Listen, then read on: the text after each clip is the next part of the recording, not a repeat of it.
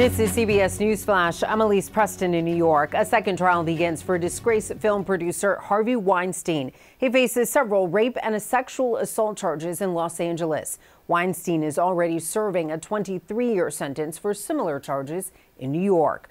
Police are investigating a shooting outside New York Congressman and Republican gubernatorial candidate Lee Zeldin's home.